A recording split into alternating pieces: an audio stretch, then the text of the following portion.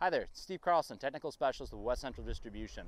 Uh, today I'm going to demonstrate a little bit about how we do some mixing of starter fertilizers for soybeans. Today we're using our product SoyShot, which is a 01010 starter fertilizer with the incorporation of the Levesol technology, meaning it has ortho-ortho EDDHA chelate. So if, for those of you who know Soygreen, it's that active ingredient in Soygreen, but we're bringing it to a new starter fertilizer. Uh, this product that we have here is targeted for a non-IDC environment, so those places where maybe you don't have IDC, uh, but you still want to add some fertility with your beans.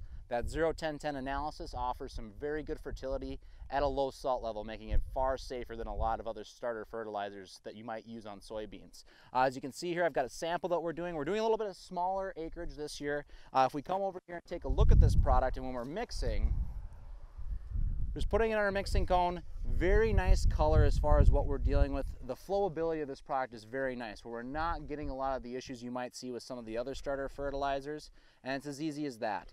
Uh, when we're using this product, our standard use rate is two gallons per acre, and then we're cutting it with water. So we're bringing that total application volume up to that five to seven gallons per acre. Uh, from there, if we'll turn on the pump, we're incorporating in our water here. It's pretty simple and just some gentle agitation. Once we start bringing in our actual uh, water into the program here, if you have a mixing cone or a larger operation, uh, we can really start getting a, a, nice system here. When we're looking at this product here, it flows really nicely and keeps that low salt seed safe, adding some fertility to, to our soybean cropping system. So a nice addition to any farm operation. Thank you.